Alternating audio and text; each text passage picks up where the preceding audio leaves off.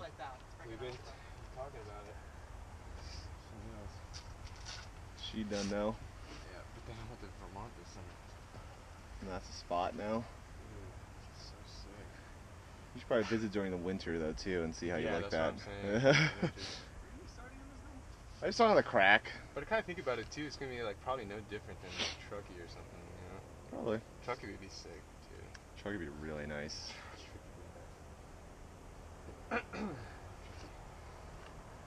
This is just a nice balance of like city and mountains. Yeah, so exactly.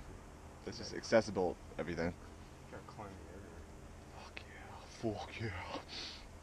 I haven't even touched the mountain biking yet, but one of my friends has just got into it, so God, it's so good. So much cool shit. Come on, man. That, that's not campusing. You're campusing wrong, Dan. Dan. That looks anything. What's campusing again? Now we'll we'll put the Doug theme soundtrack for you. we should do that for a Jesus bike. oh please, we gotta do that. Next time I'm home, we gotta do that.